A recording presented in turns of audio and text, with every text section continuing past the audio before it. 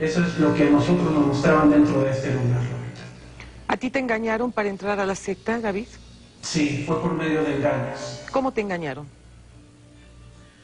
Eh, bueno, a mí se me engañó por medio de, unas personas, me, trataron de, hablar en muchos aspectos, en muchas formas, y hasta que yo, yo caí realmente en sus manos y me hicieron llegar hasta, hasta lo que era su secta, de una u otra forma, pasando por algunas cosas, y pues yo más que nada lo que en eso te puedo decir es de que no hay que dejarse engañar, sino hay que tener un poco de más conciencia de las personas a las cuales nosotros nos acercamos porque en muchas ocasiones esto nos lleva a cosas tremendas, esto nos lleva a cosas a las cuales uno en ese momento no lo puede pensar cuando uno realmente no lo ha conocido.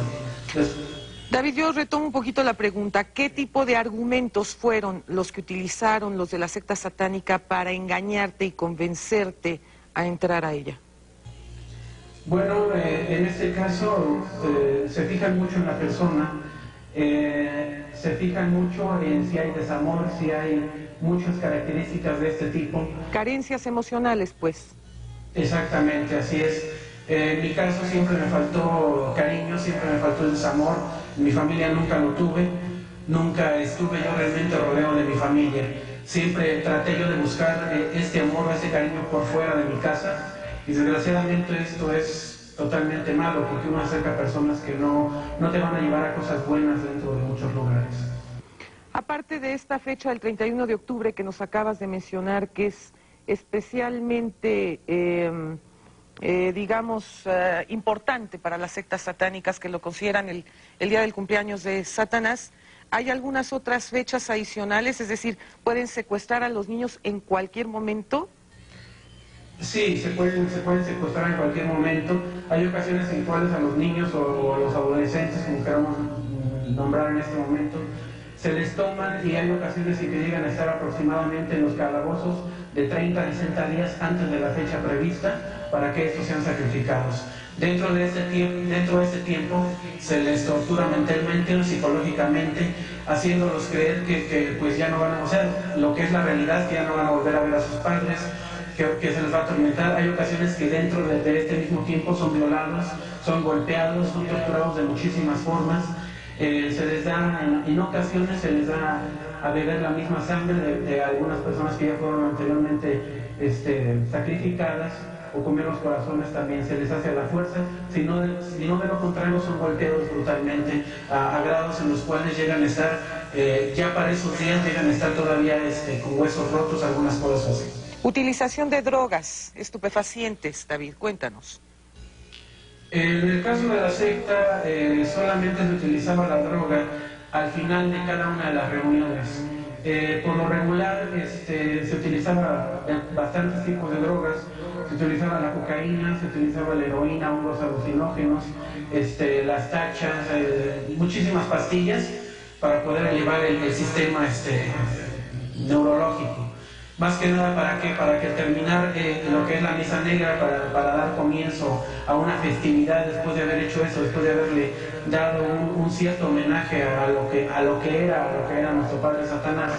Realmente después seguía lo que era el consumo de drogas, seguía lo que era el alcoholizarse totalmente, y, dentro de todo esto se utilizaban lo que eran las orgías. Yo te puedo hacer eh, un comentario de que dentro de esta secta es una secta muy grande, en la cual eh, podemos citar que no se hace dentro de la ciudad, se hace por fuera de la ciudad, en la cual eh, tiene un crean, tiene un cupo de más de mil personas, puedo hablar hasta de mil doscientas gentes haciendo una orgía al final de, de esta celebración. Qué barbaridad. Se ha mencionado que México ocupa el primer lugar en satanismo. Yo quisiera que nos comentaras aproximadamente en cuántos estados de la República tiene eh, tienen este tipo de prácticas satánicas y sobre todo cuáles son los estados en donde se identifican el mayor número de satanistas. Bueno, mira, hablando de, en, cuestión de números, yo te podría citar toda la República Mexicana. Eh, no solamente hay dentro de las ciudades, sino también hay dentro de, cada uno de los municipios de cada, de cada estado. Y por mencionar algunos de los, de los estados, se encuentra Baja California Norte, se encuentra Sonora, se encuentra Quintana Roo, se encuentra San Luis Potosí, se encuentra Querétaro, eh, si mal no recuerdo también Campeche es uno de los más también citados en este momento. Te agradecemos profundamente, David, que hayas aceptado el recibir las cámaras de Hablemos Claro y sobre todo eh, dar a conocer tu testimonio ante todo, todo el público mexicano porque es importantísimo pues que los padres de familia tengan conciencia y tengan cuidado con sus hijos. Muchísimas gracias. No hay de qué, Es un placer. Vamos a ir a una pausa, pero antes veamos un reportaje sobre niños desaparecidos en México. El robo de menores es un problema cada vez más frecuente, que tiende a agravarse debido a la tolerancia y pasividad de la población, la apatía de los legisladores, las bajas penas y la impotencia de las autoridades. En México existen redes de traficantes de niños que los comercializan mediante catálogo, principalmente en los Estados Unidos. En este sentido, hay que hacer un llamado a las autoridades para que pongan mayor atención y esfuerzo en las tareas de investigación y rescate de niños secuestrados. La mayor incidencia de plagios se da entre niños de 2 a 9 años. Solo en 1998 se reportaron 200 casos de menores robados en el Distrito Federal, de los cuales lamentablemente 90 no fueron recuperados. Una vez determinado el pedido, los delincuentes se dedican a seguir y vigilar a la madre para establecer el momento y el lugar del secuestro. Sin embargo, lo grave del asunto está en que las personas que presencian el ilícito ni siquiera se inmutan, considerando que el asunto no es de su incumbencia. Pero también el robo de infantes se realiza a recién nacidos para sacrificios en ritos satánicos, principalmente en la última noche de octubre. Se calcula que alrededor de más de 1.500 bebés pierden la vida cada año por este motivo. Pero estos grupos que practican el ocultismo también le están robando a sus hijos desde la sala de su casa. Cuando regresemos del corte, usted y yo sabremos lo que están aprendiendo nuestros hijos por las caricaturas, los cómics y el Internet. Las caricaturas son parte esencial en la vida de los niños, debido a que es el medio más común de diversión al que tienen acceso. Las estadísticas señalan que los niños permanecen frente a la televisión entre 5 y 8 horas diarias. Generalmente, la temática que difunden las caricaturas tienen que ver con la agresión, la rebeldía, la irresponsabilidad o el satanismo. Algunas veces los símbolos satánicos en las caricaturas son visibles, pero en otras no. Y esto es porque usan avanzadas técnicas subliminales.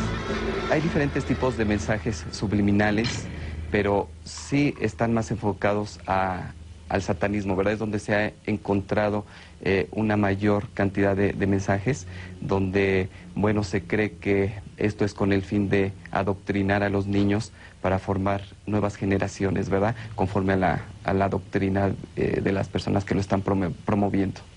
Bueno, hay muchos mensajes abiertos y encubiertos. Eh, de lo más lógico que observamos todos es de violencia, de agresión, rebeldía, una enseñanza incluso que va hacia la predisposición del niño para la búsqueda de experiencias espirituales, generalmente en el terreno de lo oculto. En ocasiones, la televisión se ha convertido en el tutor de los niños, sustituyendo por algunas horas a los padres. Pero ¿qué es lo que están viendo los niños? ¿Por qué las generaciones nuevas son muy diferentes a las de hace 30 años? En la televisión está la respuesta. Los mensajes ocultos o no ocultos están penetrando en el subconsciente de los niños. Hay muchos ejemplos, ¿verdad?, que podríamos dar eh, en este tipo de mensajes subliminales que hay dentro de las caricaturas. Y bueno, este tipo de mensajes ha cobrado ya muchas vidas. Eh, sobre todo en algunos estudios que se han eh, estado haciendo en otros países, ¿verdad? Como es el caso de España, donde hicieron, hicieron varios eh, tipos de análisis o de pruebas, ¿verdad? con determinados niños, donde aquellas personas que, que veían, en este caso, el, por poner un ejemplo, la caricatura de Pokémon, pues presentaron tremendas cosas, ¿verdad? Rebeldía, eh, presentaron... Este